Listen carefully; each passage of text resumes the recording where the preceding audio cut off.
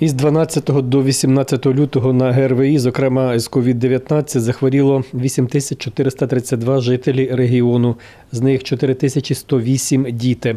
Як повідомила прес-служба Черкаського обласного центру контролю та профілактики хвороб МОЗ України, показник захворюваності на 58,6% вище під порога, розрахованого для області. На коронавірус за тиждень захворіла 51 особа, з них 10 дітей. У лікарні з гострими респіраторними інфекціями потрапили 485 осіб. Це менше ніж позаминулого тижня, майже на 18%.